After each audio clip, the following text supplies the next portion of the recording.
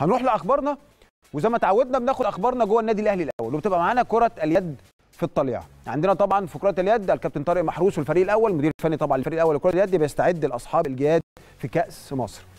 يمكن طبعا بعد ما البطولة اتأجلت اللي فاتت بقى في وقت إنه يحصل نلعب كأس مصر. في دور ال 16 هيتلعب الساعة 4 العصر يوم الجمعة الجايه على صاله القوات المسلحة بالإسكندرية. الماتش هيتلعب في التوقيت ده بعد ما اللجنة طبعا أجلت الماتشين وهنلينا كلام في الموضوع ده بس نخلص الخبر. إنه طبعا كان في مواجهتين من السنة اللي فاتت تم تأجيلهم لحين البت في مركز تسوية التحكيم الرياضي في أمرهم.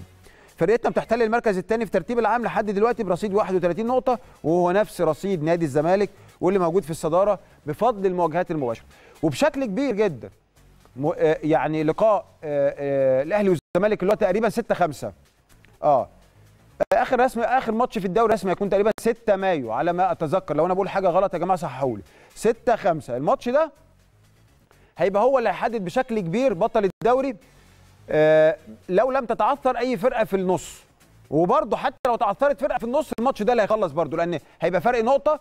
برضه لو كسبت يبقى في ماتش فيصل. يعني قصدي أقول لك إنه الماتش ده هو اللي هيحسم بشكل كبير لأنه آخر ماتش في الدوري هيبقى نهاية الدوري.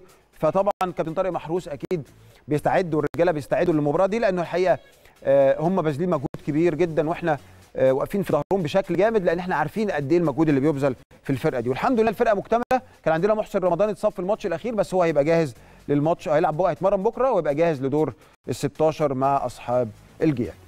طيب هنروح لكرة اليد سيدات. طبعا بيأدوا أداء رائع كسبنا الشمس آه بنتيجة 30 26 30 26 وكان الماتش بيتلعب في صالة نادي الشمس بمصر الجديدة. وبالفوز ده فرقتنا عندها 95 نقطة بعد ما فزنا 31 ماتش وتعادلنا في ماتش واحد مع الزمالك.